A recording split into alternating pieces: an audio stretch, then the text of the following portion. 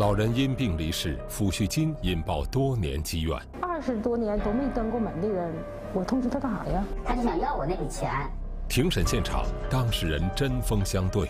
我奶奶去世以前的这笔费用不应该算在抚恤金上。他工资根本就不够花。事理说法，法官温情调解估值矛盾。姑娘亲，辈辈亲，死了姑娘连着筋。走上法庭的亲情，今日说法即将播出。你给你奶买一块糖，我今天这一块糖我就给你一千块钱。我就知道她是我姑，但是我不知道我是她什么。刚刚画面中出现的两个人是一对亲姑侄，因为一场官司，本就淡漠的姑侄关系濒临破裂。庭前调解的时候，原被告的情绪是比较激动的。侄子就说呢，这笔钱本来是我爸和我姑分，我爸没了，那就我和我姑分。然后我跟姑姑说，如果你跟他之间诉讼到法院之后，通过法院去判决，可能你们的关系会更加不好修复。他就说我不在乎那个。正式开庭前，法官与双方当事人反复沟通，想调解他们之间的矛盾，但姑侄二人针锋相对的态度，让法官的调解工作进展并不顺利。我没想到，就因为这么点钱的事儿，你拒绝调解。你们两个是亲姑和亲侄儿，血缘关系是没法扯断的。东北有句俗语，说是“姑娘亲，辈儿辈儿亲，死了姑娘连着筋”。各位好，欢迎收看《今日说法》。一对亲姑侄在老人去世后，因为抚恤金对簿公堂，庭审现场法官巧妙化解姑侄双方矛盾，暖心的调解让这场庭审在社交媒体平台上引发众多网友的关注，还一度登上热搜。血脉相连的亲姑侄为什么会因为一笔抚恤金走上法庭？下面就让我们跟随吉林省长春市宽城区人民法院的法官王悦，去了解一场因抚恤金引发的庭审。吉林长春这座位于中国东北部的城市，山环水绕，沃野千里，在这里工作的基层法官们也印刻着城市赋予他们的独特气质。我都愿意到现场去看一看，双方到底是什么样的事儿，能让他们矛盾发展成这样？听听邻居的意见。哪怕那个总在他身边，呃，修鞋的了，或者是崩爆米花的了，他总在那儿，他都能从他们的眼光当中去看他们之间到底因为啥。二零二一年三月十六日，吉林省长春市宽城区人民法院民事审判一庭正在审理一起姑姑状告侄子的诉讼。这是本案的原告姑姑赵英。年过六旬的她要起诉的正是哥哥留下的唯一血脉侄子赵小强。长春市宽城区人民法院现在宣布开庭。二零二零年十月底，原告赵英的母亲，也就是赵小强的奶奶因病去世，享年九十四岁。老人过世后，生前的工作单位要给家属发放一笔抚恤金。这个抚恤金里边包括了丧葬费。一万四千两百四十二元，抚恤金是四万一千七百四十八块零两毛，总和是五万五千九百九十块钱。赵英觉得母亲生前一直由自己照顾，抚恤金应该归自己所有。按照规定，领取抚恤金需要死者直系亲属一同签字。因为哥哥在几年前去世，只能由哥哥的儿子来签字。于是赵英找到侄子赵小强，想让他给自己签授权委托书，但是赵小强却不肯签字。正常情况下不俩人去取吗？他可能是要去取，他取不出来，然后来找我，让我给他签字。你签委托书，我的钱不给你吗？然后我就没给他签。然后再说给我两千块钱，我说我不差你两千块钱。几次沟通无果后，赵英把赵小强告上了法庭。他在庭审现场提出两个诉讼请求：第一，母亲过世后的抚恤金归自己所有；第二，本案涉及的诉讼费由侄子赵小强承担。从老人退休到离世三十余年，都是原告一人陪伴。老人因病离世，被告以亲孙子的名义继承抚恤金。被告二十余年几乎没有登过门，就想拿老人的抚恤金。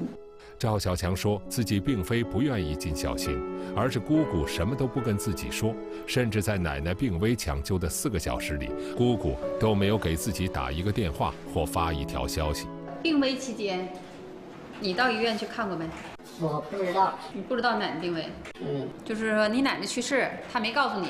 没告诉我。嗯，你奶奶去世之后，葬礼你参加没？葬葬礼参加上了，他提前打电话，但是他不让我去墓地看我奶，也没告诉我房间号。后来他儿子就是硬要他走，带我去的，他们所有的事情都不通知我。你奶奶葬礼你都支付什么钱了？我没支付钱，我只是买了花圈，然后烧些纸，他提前都都办完了。我去的时候所有的钱都已经交完了。对这件事，赵英觉得自己做的没错，因为母亲是晚上发病的，抢救也都是在晚上。他认为很少跟自己联系的侄子，就算通知了也不会来。二十多年都没登过门的人，我通知他干啥呀？那您没有考虑他作为这个直系亲属，作为孙子，他有权利知道老人病重吗？我知道啊，我知道啊。那您通知他了吗？我为啥没通知他呢？因为通知他也不会来。通知也白扯，知道吗？一块糖都没给老人买的人，我通知你有啥用啊？在庭审现场，赵小强承认在照顾老人方面确实是姑姑付出的比较多，自己也不是非要抚恤金，而是奶奶生前工作单位认定他和姑姑对这笔钱有同等继承权，那么自己作为奶奶唯一的孙子就要争取一下。这个钱我没说要要，而是老人单位没有我同意，没有我批准，不允许取这笔钱。他尽抚养老人的义务，他应该占多数，没有异议。我可以占少部分，一少部分，但是你一少部分都没有，我觉得这个亲情就已经没有。通过采访，我们得知赵英的母亲生前仅有两个子女，除了赵英，还有他的哥哥赵红，而赵小强又是赵红的独生子。二零一八年。赵小强的父亲因肝癌病逝，也就是说，侄子赵小强是哥哥赵红留下的唯一血脉，也是老人唯一的孙子。那么，究竟是什么原因让赵英觉得在老母亲生命垂危的时刻，不需要通知老人唯一的孙子来见最后一面呢？这还得从上一辈的矛盾说起。我是一九五九，他应该比我大十十多岁吧。我哥原来最开始的时候吧，在铁路来的，我是在医院工作。据赵英回忆，年轻的哥哥在铁路上班，自己则和母亲在同一家医院做护士，因为他与母亲既是母女又是同事，关系更为亲近。我跟我妈关系特别好，因为母子连心。我妈对我也特别好，因为我们两个是一个医院的，而且就是说我们专业是一样的，所以说一提医院的事情，我妈也认识，我也认识，所以娘俩聊得比较好。由于年龄差，赵英在哥哥结婚后很长一段时间都跟父母一起生活。那时候她跟父母住在楼里，而哥哥赵红一家则住在楼下的平房。我哥，呃，那个住在我家后院我妈盖的房子平房。我们是窗前窗后的那么生活，他们是住在楼里，我们是在住楼下的平房里。可能是性格和年龄的差异，导致赵英跟哥哥并不亲近。这种生疏的兄妹关系，在哥哥赵红婚后愈发明显。赵英觉得哥哥有了自己的小家后，更关注小家。他结婚以后吧，就是关系不怎么特别好。我哥在家说了不算，我哥就是那种闹包踹似的，就像他儿子似的，比他儿子还闹。上一辈人的关系直接影响了下一辈人的相处。在赵小强的印象中，姑姑赵英和自己一家的关系一直不太好。你父母和你，跟原告，就是你这个姑姑，还有你爷爷奶奶关系怎么样？我父母。跟我老姑关系不太好，不太好的原因知道吗？嗯，我不清楚。赵小强说，不仅是父母跟姑姑关系不好，连带着自己也不被姑姑喜欢。他甚至从来没有弄清楚过自己和姑姑的关系。我住的年，我就知道她是我老姑，但是我不知道我是她什么，你知道不？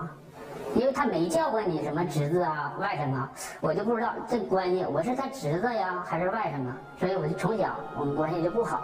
提到小时候与姑姑的相处以及姑姑对自己的态度，如今已经快四十岁的赵小强依旧记忆犹新。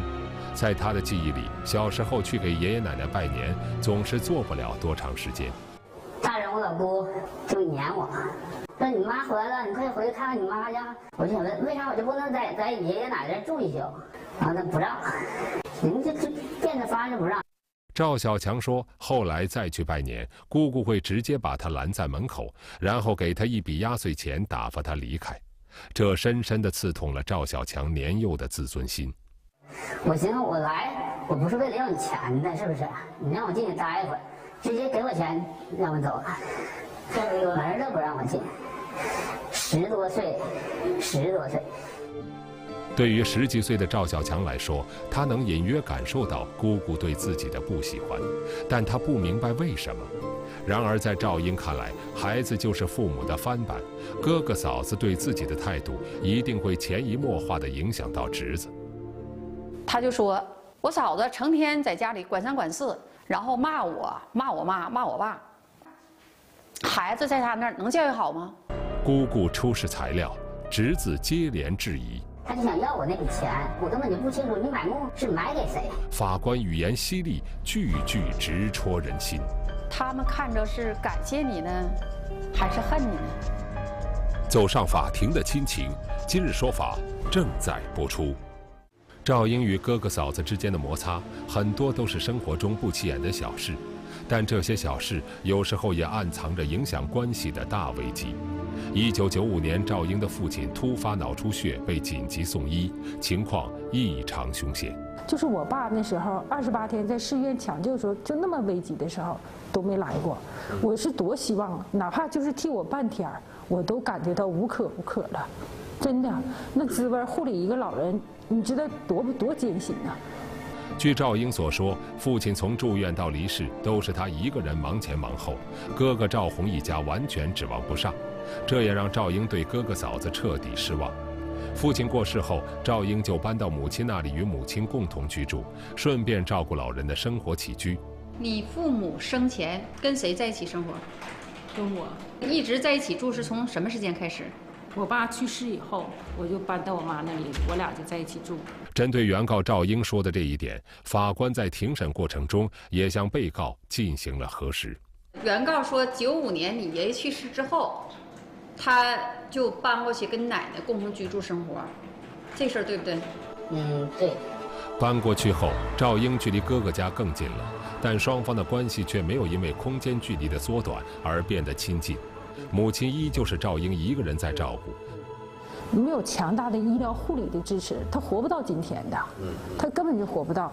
她还你说肝上有毛病，肾也有毛病，胆囊有毛病，心脏也不好，一天吃五六样药。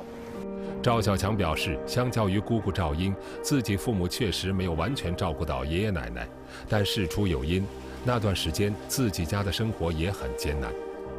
我小的时候他就下岗了，八九岁的那年他就下岗了，下岗他无业。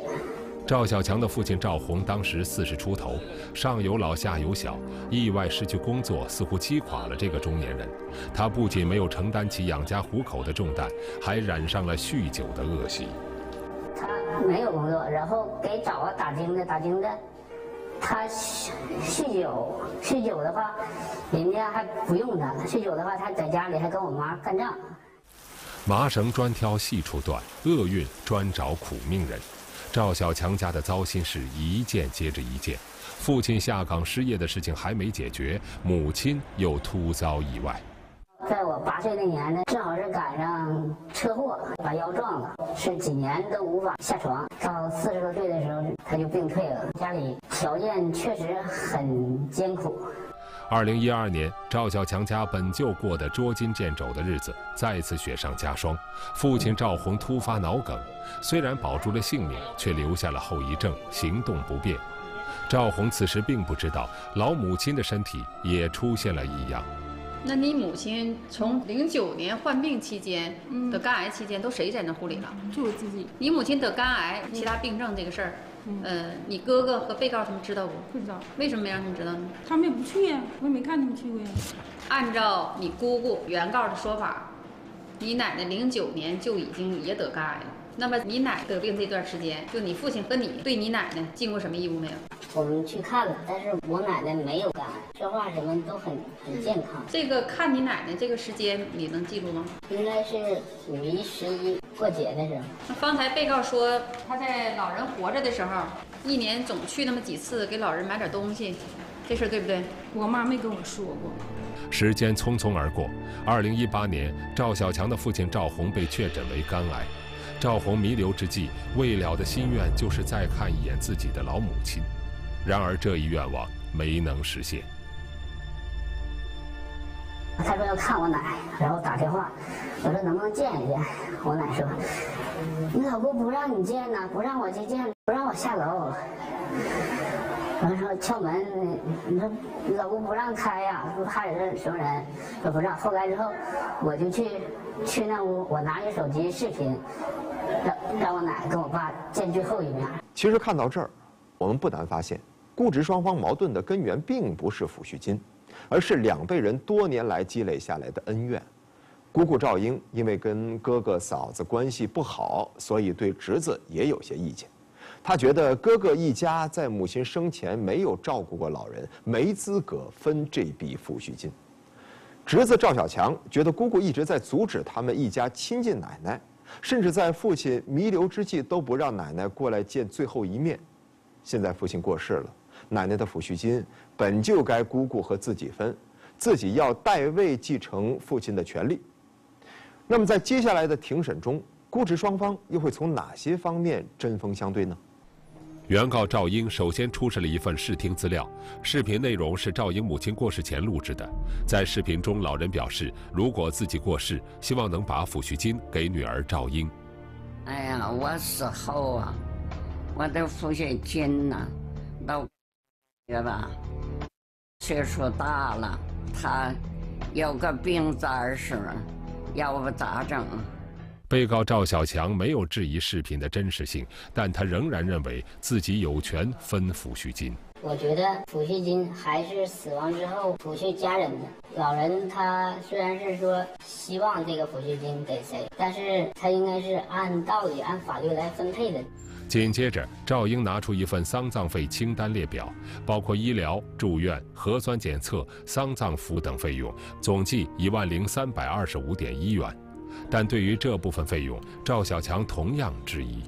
我认为这次起诉我的是因为抚恤金，所以在我奶奶去世以前的这笔费用不应该算在抚恤金上，像急救、医疗、生前的花销不应该算在抚恤金里。我奶奶的遗产我一分钱没有继承，她之前的房子、什么工资什么的，全都给我老公了。赵小强觉得奶奶的遗产足够负担生前的花费，抚恤金不应该用在这上面。赵英却说，母亲的退休金连支付日常护理都不够，有时还得把自己的工资搭进去。她工资根本都不够花。我妈从二零零九年的时候就发现我肝癌，肝脏用药的话，一个月一千三百五十块钱，还不算她打的胸腺肽。你想说的就是你母亲有退休金。对对，他的退休金在他的呃日日常的呃治病医疗和生活上根本就不足，根本都不都不够花。他是两千退休金多少钱？两千零八十五块四。除了丧葬费包含的内容，赵小强对丧葬费数额也有质疑。他说，奶奶出殡当天自己就在现场，他觉得从现场的布置来看，不应该花这么多钱。那你认为，原告支？支付的丧葬费应该是在多少钱？我认为他支付的费用应该在五千到八千左右。出殡那天我去的时候什么都没有，车队算我自己的车只有三台车，人只有八个人，其余啥也没有。是两个人都非常的冷漠，互相没有任何的交流，只是在陈述这个案件的事实以及自己的这个诉讼的要求或者是答辩的请求。接下来，赵英出示了一张购买墓地的发票，发票上显示购买墓地的费用一共是五万三千八百元，这几乎是老人过世后抚恤金加丧葬费的总额。首先，我认为他这个日期有疑义。他这个发票的时间是一月份之前的时候，他给我的押金时间是十一月末、十二月份的时候。赵小强说自己曾经从姑姑那里看到过一张购墓票据，但那张跟法庭上出示的这张不一样，两张票据的落款时间不同。现在这个他提供的票据上是一月份，签合同的时候是一月份，不可能我不交钱我就跟你签合同。对此，赵英给出自己的解释。他说自己当时先交了定金，对方给开了定金发票，后来又交了尾款，才给开了法庭上出示的这张发票。我们先付的是首付，啊，我们付完首付以后，然后呢，再交的尾款。这发票呢，就是那时候开的。嗯，因为你不不首付的话，人家就不不知道你买不买。嗯，你先交类似于定金，对，我先把这块地方定下来。对，然后呢，再再交全款，全款，把这事儿全全额交款之后再开的发票，是这意思吧？对对对对对，人家把那个就收回去了，啊。最后，赵小强又对购墓时间提出疑问：老人过世时间是二零二零年十月底，而赵英买墓时间是二零二一年一月。赵小强觉得姑姑只是以买墓的名义开发票，然后独占抚恤金。他根本就没经过我同意，他就想要我那笔钱。他而且他买墓，我我根本就不清楚，你买墓是买给谁？是你名字买的，你买完之后你给谁？你给谁？不说这墓以后是不是能卖？你是不是为了就是为了要我这要我这笔钱，你才那啥的？随后，法官王月让原告当庭宣读购墓协议上墓地的具体位置，但赵小强又觉得买墓是姑姑自己的行为，应该用姑姑那份钱，不应该不跟自己商量就用自己的那份。我问过律师，律师说买墓是原告他自愿自己的行为，不是我奶奶的行为，因为他自己的钱的话，他可以怎么分配、怎么支配的话都可以。买墓地是他自己自愿的。给你奶奶看病，超出你奶奶工资之外的花销的那些钱，那也都是他自愿的。姑侄互不相让，法官暖心调解。姑娘亲，辈辈亲，死了姑娘连着筋。老人生前意愿能否作为法律依据？可能也会参考这个死者他生前的意愿，但死者生前的这个意愿，它不是一个决定性因素。走上法庭的亲情，今日说法正在播出。原告赵英的母亲在过世前留下了一段视频影像，说自己过世后的抚恤金要留给女儿赵英。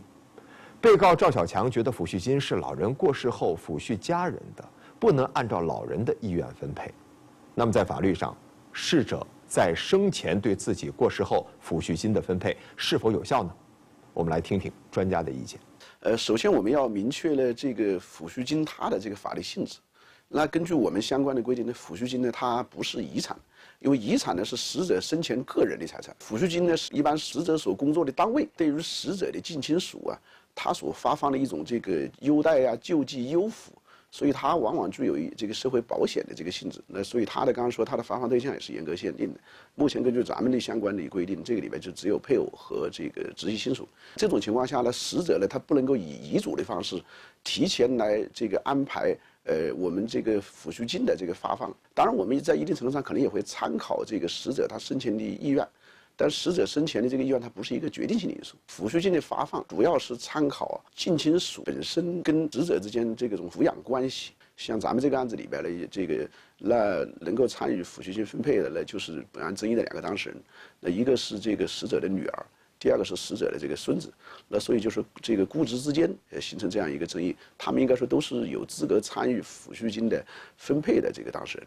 那根据咱们的相关政策，抚恤金的分配主要要参考呃这个我们说近亲属的这个个人的这个经济能力、收入状况、有无独立的这个劳动收入来源，啊以及这个跟死者生前的这样一种供养抚养关系，啊这是这个我们发放抚恤金的一个主要的参考因素。看来抚恤金跟遗产不同，也不能简单的作为遗产来继承，只有靠逝者抚养的群体才有资格领取抚恤金。那么赵英和赵小强作为逝者的女儿和孙子，抚恤金究竟应该怎么分配？法院会如何处理呢？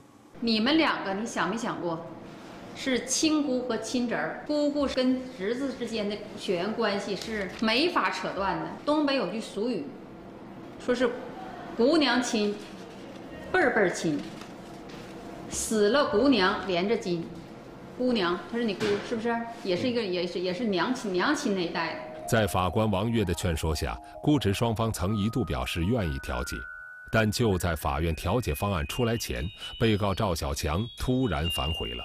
我我可以全部同意让法院判吗？法院不勉强调解，休不休庭？休庭之后，法官并没有让姑侄二人直接离开，而是继续给他们做调解工作，反复以亲情关系去沟通。我就跟姑姑说：“我说，你父母在，父母是娘家；父母没了，哥哥是娘家。现在哥哥也没了，就剩你侄儿一个了。然后他在，他好，他就是你娘家人呢。如果他没有了。”他不在，你把他都扔出去了，你还有娘家吗？从原告赵英的种种表现来看，法官王月觉得他是一个十分注重亲情的人，就打算以此为切入点，再劝说一番。我说你要是作为姑姑的话，你应当让孩子让他跟你应当是最亲近的，你父母在天之灵看着才能高兴啊。我说那现在你把他们把你的侄子都推得远远的，走上法庭了。我说，他们看着是感谢你呢，还是恨你呢？在劝说被告赵小强时，王月则选择从另一个方面入手。赵小强父母和姑姑那一辈的矛盾是多年积累下来的，一时半会儿不会轻易化解。但赵小强跟表兄弟之间没有任何矛盾。我说你想想，你姑没了，你的表兄啊、表弟呀，他们还在呢。如果说你跟你姑之间感情缓和了，那么你跟你表弟和表表兄之间的感情还传承着呀？他在做双方当事人工作的时候，就每一方都会觉得他说的非常在情在理，层层递进，循循善诱，去找到当事人心里面最脆弱的那一点。最终经庭外调解，姑侄二人终于达成一致，侄子赵小强自愿放弃诉讼请求，抚恤金、丧葬费合计五万五千九百九十点二元归原告赵英所有。案件受理费六百元，由原告赵英自愿承担。来的时候，我看孩子跟姑姑一句话都没说；走的时候，孩子跟姑说：“说那老姑，那我走了。”完了，他他姑姑也说：“那行，你开车注意点。”说话了，至少双方在往好的方向去发展。面对古幼至亲间的口角之争、矛盾冲突，要充分运用司法柔情，做到消除亲人芥蒂。修复古幼亲情，姑侄双方因为抚恤金产生的纠纷告一段落。我们希望这次庭审真的像王月法官期待的那样，成为他们破冰的基础，两家人能慢慢的开始走动。毕竟血缘是一种很奇妙的关联，与生俱来，割不断。当然，我们也能从本案中看到基层法官审理家事案件的日常。案件也许并不复杂，但当事人矛盾很深。所以，法官审理时不仅要给出判决，更重要的是运用司法柔性，帮助双方当事人调解矛盾，让法律更有温度。好，感谢收看今天的《今日说法》，也欢迎大家继续关注央视综合频道接下来播出的其他内容。再见。